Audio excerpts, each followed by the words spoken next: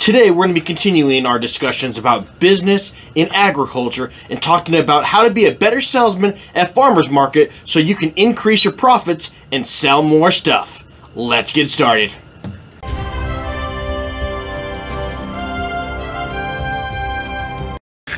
So you're looking to start selling at farmers markets and you're trying to sell and you see really long lines at other locations, but you're really just not selling as much of your own stuff as much as you would like to. Well, in this video, that's what we're going to be talking about, is how to be a better salesman to increase your sales to better make more money, to make it more profitable and enjoyable. So, don't forget, if you like what we're doing, don't forget to subscribe, click on that like notification so that way we can do better in the YouTube algorithm and we can continue to bring more content like this for you guys so that we can better more continue to learn with each other. As we mentioned before, kind of like myself, when I first started selling at farmers markets, there were really long lines at other locations that didn't seem to have as high of quality or they had just as high as quality, but everyone just seemed to walk on by my stand at the farmer's market and just completely ignored me. And I had to learn through hard knocks over time of things that I was doing, both good and bad, to better help sell my stuff at the produce. And that's one of the things that I want to do in talking about this video is shorten your learning curve so it's a little bit easier on you to increase your profit. The first number one thing that I would recommend to do at the farmers markets is get people's attention. You can stand there, you can look pretty, you can have all your equipment set up, you can have a really nice stand of really good high quality looking product and people are just going to continue to walk on by. You'll get a few people that will stop, they'll look at your stuff, they'll ask you questions and then they'll just continue to walk on by and the vast majority of everyone else will continue to ignore you in favor of other people because they're long lines and they'll just assume they've got a lot better produce, honey, whatever it is that you're selling at the farmer's market. And so here's one thing that you can do. Back in olden times, you'd see the old fishmongers, fish for sale, fresh fish, and they would just yell at people in the markets walking by. Now, this is what I would recommend you do. It might get tedious, it might get boring, but that's what the things that I did. I remember watching Aladdin, the old Disney movie, and you have the guy yelling, fresh fish, come get your fresh fish. Well, do that with your produce. Say, hey, come on over, come check out my honey. Hey, come check out my produce. I have some really good stuff. One of the things that I personally do is I actually sell microgreens as one of my main niche things. I'm actually the only microgreens grower in my area.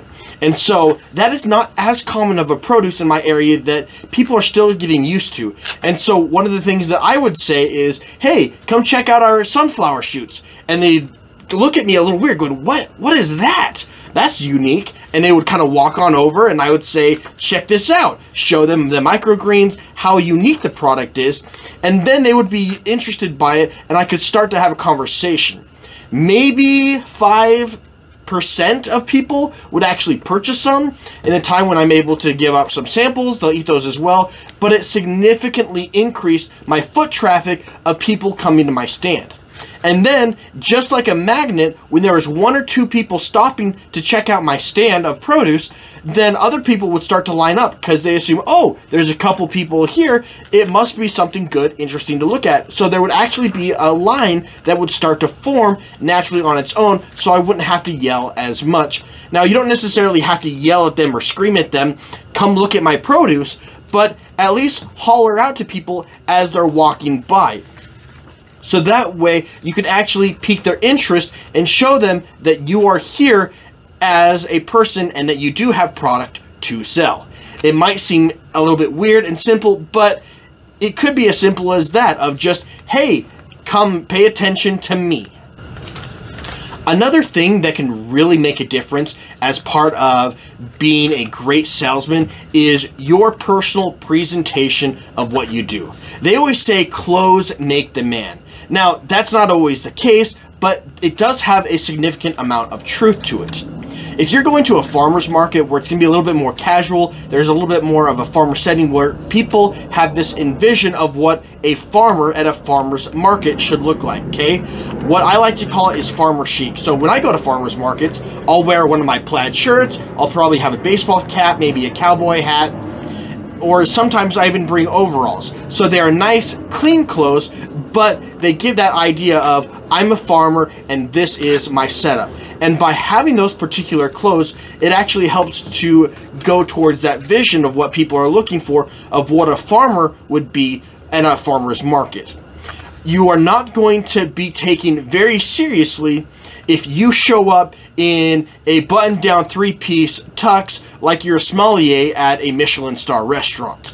You need to dress according to the environment that you're in.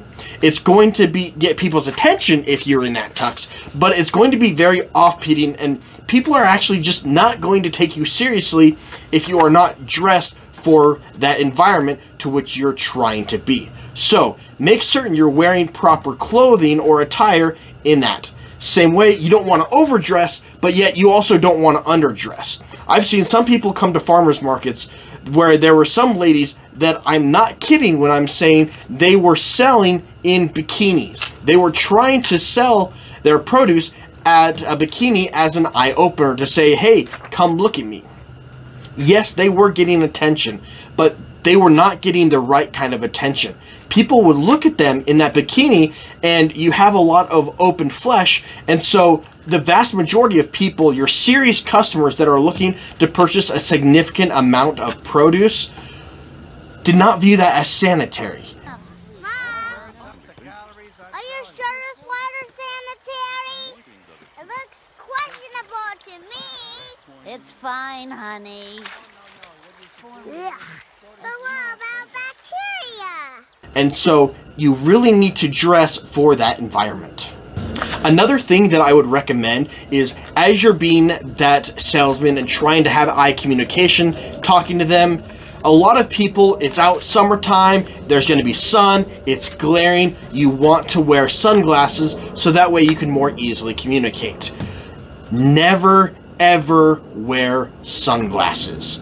I know I've seen guys do it. I've seen some successful people do it. My personal mantra is never use sunglasses. They always say the eye of the soul is there. There's I've actually done personal experience where sometimes I'm selling I'm wearing sunglasses, sometimes I'm not, and you just don't get good eye communication with people and it makes it a little bit harder. So when you're yelling at people saying, "Hey, come buy my produce. Hey, come check out my produce. It's really good high quality stuff."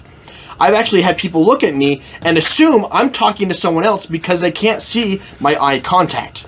And then when I take those sunglasses off and I look directly at the person and I go, hey, you over there. Yes, I'm looking right at you, John Smith. I want you to come check out my wares that I'm selling. It's really high quality. And they will see that I am directly focused at them. And it helps to engage them by having that eye contact. The other item that I would recommend is having personal health, having personal hygiene that will greatly encourage it. Now, I have seen some guys. You don't want to be that hipster guy that's wearing a full toga, that's got the guru beard down to his knees, hair everywhere. He's wearing sackcloth and kind of smock. I've actually seen guys show up in that in selling products where their feet are black because they are wear, walking around blacktop and it is just not a clean environment. They also have kind of a poor smell to them. And so I would say be groomed. If you're going to wear facial hair, make certain that it's nice, trimmed, have it a little bit longer, have a little bit shorter. I've seen some guys with beards down to their knees, but it's well chromed. They're using some beard oils. They are actually sometimes putting it in ties. They're sometimes braiding it. But they're combing their beard. They're dressing it up nicely. They are combing their hair. If you are a girl, I've seen it make certain to have your hair combed. Maybe it's nice. You don't want it to get in your way. Go ahead and throw on a ponytail. But make certain you present a well-dressed, well-groomed person that actually has guy good hygiene. I've noticed that that can be a problem. Now, in the case where you're harvesting your product that morning, if you're doing lettuces and vegetables, you get entirely dirty because you're out in the field. You're getting sweaty, you're getting smelly. Get out there early. Take an extra 10 minutes to go back to your base of operations, shower, get cleaned up, put on some deodorant, get rid of that funky smell. If you smell like pig pen, from the peanuts, you are not going to be presenting a good thing and it's going to be a turnoff from people. You need to have good hygiene because a lot of people will assume if this person has bad hygiene, then they're also going to have bad produce. They're going to have bad stuff that they're selling and they're not going to want to have anything to do with that. One other note about personal hygiene. Now, I personally, in the hot summer, it gets really hot. Sometimes you're going to sweat even after you've showered, care of those things, You've got deodorant to try and control the smell. It's hot. It's summer. Places where I live, it can get triple digits. So one of the things that I do is I actually keep a spare rag towel that's nice and clean. So when I'm not physically talking to customers, or even if I'm in talking to customers, I can take that towel, I can do a quick dab across my forehead and wipe off the excess sweat. People look at me and go, dude, are you okay? Get some water. Like, you're having some struggles. Get the towel. It's part of hygiene. You're going to sweat. It's okay. It's life. Take a little bit, wipe down your face, keep it nice and neat so you don't look like you're melting in the middle of summer. Now, I know everyone doesn't have that issue, but if you do, it saves you a lot of grief from people and you don't have sweat it's really embarrassing if you're a really sweaty guy or girl and you're leaning over your produce saying, Here, have some of this as you're handing out samples or you're trying to take cash and making some of those things, and your sweat is literally dripping down onto your lettuce. It is not a good sign. So please figure out what you need to do for your personal hygiene, for your presentations, and just take those small extra subtle steps to help improve your overall presentation. Now, as you're engaging people, as you're talking to them, saying, hey, come check out my produce, as you're encouraging them to come in, as you have good hygiene, all of these other factors combine together. You need to be physically engaged with the people standing at the farmer's market. So there's going to be busy times, there's going to be slow times, kind of like in a wave, just like everything else what you can do is it's going to be a long day. You're going to have eight, ten hours that you're physically at the farmer's market. It's going to be exhausting. At those times, you're going to want to sit down. You're going to want to lean your head. You're going to want to go to the back corner of your vendor's tent or whatever you've got set up and just relax. Don't do it. If you need to do it, trade off with your partner. Sit down on your chair, rest your feet for a few minutes, and relax. If you don't have that luxury though, sometimes I'm going by myself and I don't have a partner to help me out. I'm running my stand completely by myself. So, what you can do is during those times when it's a little bit slower, sit down, relax, take a little bit of time. You're exhausted, you haven't eaten in four or five hours, grab a quick bite to eat out of a cooler that you've got on the side. Take a few bites, set it down. You don't need to be taking a full Thanksgiving meal. You are there to sell, you are there to make money. You are not there to relax, hang out in the shade, have a good time. There's gonna be a little bit of discomfort. Now, is it necessary to always have discomfort? No. Do what you need to. Get some foam squishy mats, put it down, make it easier on your feet. Have a chair, sit down when you don't have any customers. Take a quick bite of a sandwich when you're not physically talking to people. There have been times when I've seen at farmers markets when I'm not exaggerating, when there's busy crowds where you have dozens, if not hundreds of people walking by and they are just sitting down. In my particular market, I don't know why, but there is a really nice gentleman. He focuses on selling beef, jerky, beef, really great high quality cuts of grass fed beef. We have four or five vendors, all grass fed beef, that sell this. However, this particular guy does the worst. I don't know why, but he'll come, he'll set up his truck, he'll send all of his stuff up. He's got a freezer, he's got a really nice setup, displays presenting all of his wares. He does not make sales. And the reason why is because he does not engage. He brings this really nice big four leg wood chair and he'll actually sit down in the chair and lean back up against the truck and he'll occasionally talk to people, but he's in a very relaxed, comfortable position. Occasionally, when it's been really slow, I've actually seen him tip his cowboy hat, covering his eyes, and he has started to snore. So there's a period of an hour or more where he's sleeping and snoring. I can hear him from across the walkway as I'm selling. There is a large amount of people that are walking by that he is missing out on great opportunities. Rather than sleeping, rather than taking that time when it's busy, get up, be at the front of your vendor post, talk to people, engage with people. Don't hide like Smeagol in the back of your tent. It seems simple and easy, but you'd be surprised how much standing up straight, having an air of confidence, even if you're feeling tired, have that towel, have a small little mug with some water to rehydrate yourself really quick. You know what? How about this? I'm talking to you, I'm working on it, maybe I'm a vendor selling it. Well, I'll pull out my mug real quick, take a quick drink. Hey, how you doing? Thanks. This is my produce. A quick rehydration method like that will significantly help to increase your desert, your endurance and ability to make more money. Have that small sandwich. Those other small tips will significantly encourage you to make. Next thing that will highly increase your success as a salesman to make more money at a farmer's market is to be a salesman. What I mean by that is know your product. Know the price, know the origins, know what produce you're doing, know what that particular product can be used for. Let's say that you have a unique product that is not as common. Let's say you are a seller of mushrooms. Well, have some ideas of ways that people can use those mushrooms. These mushrooms will be really great in making omelets. You can use this in making this particular dish. Have ideas of how the customer can use it one of the things that I find useful in working with sunflower shoots is that it's not as common or a unique thing, and but it still has a really great crisp flavor to it. It is considered a niche product. So one of the things that I've done is I've looked for recipes. I've taken the time to say, you know what, these are some sandwiches you can make. These are some oriental dishes you can make. These are different recipes that you can do to help that out. I've actually gone as far as having a small booklet binder on my stand as well so people can flip through and look at recipes and go, wow, that is a really great idea so that I can use it in this dish. So that way they can start to form a game plan of how they can use and incorporate that product. You can have the best product in the world, but if the customer doesn't know how to use it because it's a niche product or they don't know how it can be incorporated into their current foods, then you're less likely to make less sales.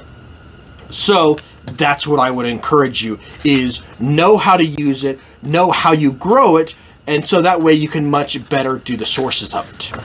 When people come up and talk to you, they're going to ask you questions. And some of them may seem really dumb, and you're just like, why in the world are you even asking that? That is a stupid question. Now, one of the things that I mean by what do I mean that? So there is a awesome vendor that's in my particular market that solely focuses on mushrooms. He has 12 different types of mushrooms that are really great quality and he's known as the mushroom guy.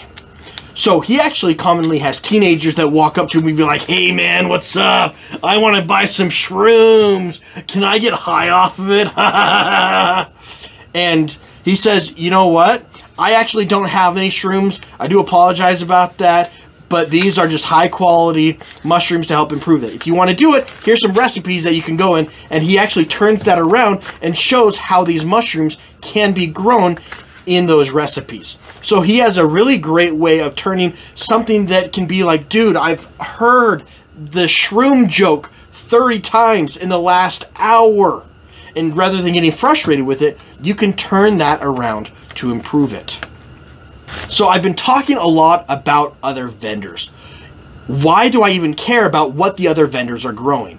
Is it because I view them as competition? We sell the same thing and we're competing with each other because there's a finite amount of people, there's a finite amount of money? No, that's not it at all. I actually find for me to be a better salesman in a farmer's market environment is I actually get to know my fellow vendors. I become friends with them. Some of the vendors I've been selling at farmers markets for years with, a lot of us, we've been going to these same farmers markets for years. We've gotten to know each other. We've become friends. We've started to support each other. And we all have our own niche products that we sell. So for me particularly, with my beehives, with my microgreens, and some of the other things I sell, those are my niche categories. There are some other guys that grow beef or lamb. There's some other guys that do more in your lettuces, leafy greens, some of your herbs. Different farmers, we each have different things that we can focus on. we'll commonly have customers walk up to us and say, Hey, I'm looking for some basil, I'm looking for some rosemary. Well, look here, I've actually got a ton of rosemary that I'm getting ready to grow so I can put out in my field because I am a supplier of herbs. So, commonly, what we'll do is I will say, someone will contact me and say, Hey, do you have basil? Do you have rosemary? And I say, Well, yes, I do. Here it is. Come check it out. And then they go, Well, what are some recipes? You seem to have ideas for other recipes. What is it that you can do? And I say, You know what? Uh, here's what you can do. If you get some of these nice herbs, one thing that I really recommend is go check out uh, Farmer John over there. He has some really great, high quality strips of steak or other cuts of meat or have some really great lamb chops or pork chops, whatever that particular vendor has, I highly recommend it.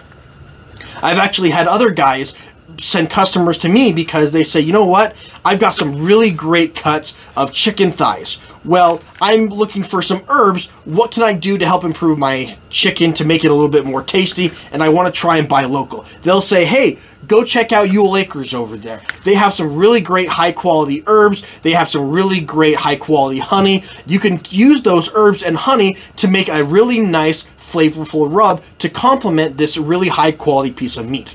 So you'll actually get referrals from other vendors and you can help each other out. That is why I highly recommend be friendly to the customers, be friendly to your other vendors and help to give each other recommendations so that way you both can increase together rather than trying to compete against each other. And everyone will be able to make more money together. These are just a few of the ways that I personally have found to make me and other vendors around me to be much more successful salesmen or women.